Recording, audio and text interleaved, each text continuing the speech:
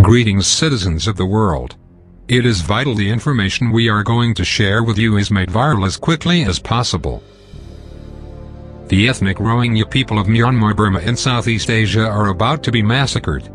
Barbarous acts are being carried out by neo-Nazi racist groups like the Rakhine Nationalities Development Party, Arakan Liberation Army, Nasaka Border Police, and 969 monks led by Monk Wirathu, the self-proclaimed Bin Laden of Buddhism.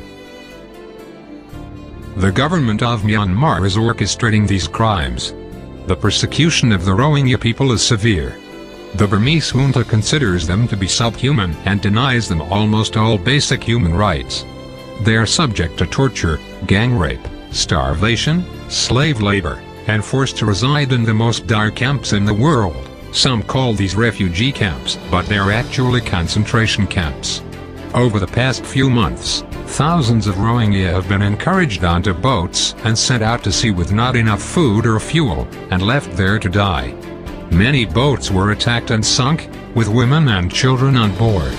Already the violence in Burma has spread beyond the Rohingya to include all Muslims, with warm-ups to the anticipated massacre taking place against Burmese Muslims in Meiktila, Naypyidaw and Yangon. Dead and burning bodies, including children, are now lying in the streets. While the United States claims to defend human rights, their record clearly reflects a government that will only intercede when their business interests are threatened.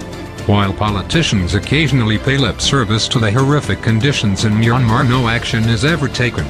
The only people neglecting the situation in Myanmar worse than the US or the press who consistently ignored these atrocities or reported them as ethnic clashes. We consider the media to be complicit in concealing them from the rest of the world.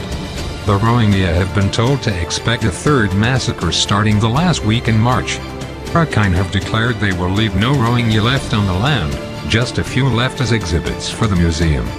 The acts of genocide being committed against the Rohingya people must no longer be ignored.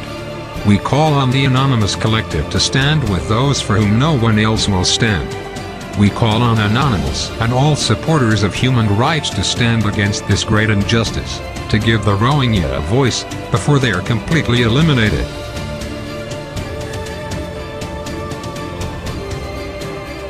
Operation Rohingya engaged. We are anonymous. We are legion. We do not forgive. We do not forget. Tyrants of the world, expect us.